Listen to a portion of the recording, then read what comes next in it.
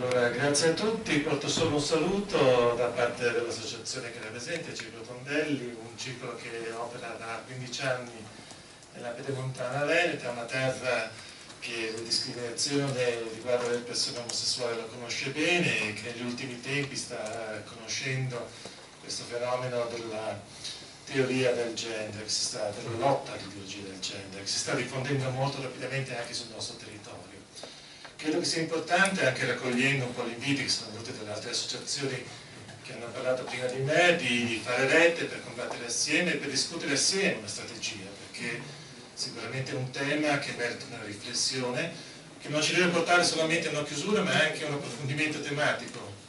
di come sia nata e di quali sono anche le sensibilità che va a toccare sul territorio. In questo senso noi come Circo siamo impegnati a nel territorio a dialogare con tutti gli interlocutori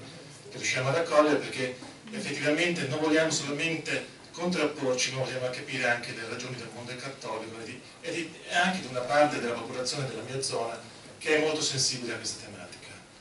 Per il resto, riallacciandomi un po' alla relazione sanitaria, credo di essere molto d'accordo con molte delle istanze dell'amico Iuri,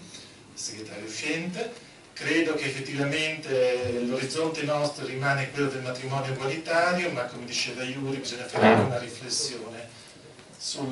disegno di legge che abbiamo in discussione. Credo che come associazioni dobbiamo, dobbiamo trovarci, dobbiamo discutere, credo che questo dobbiamo fare e mi auguro che anche il congresso sia un'occasione per interloquire per fare un approfondimento tra di noi. Buon congresso a tutti e mi fa piacere rimanere qui con